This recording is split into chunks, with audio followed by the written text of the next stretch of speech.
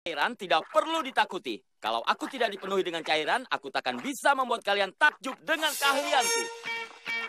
Kini aku lebih baik.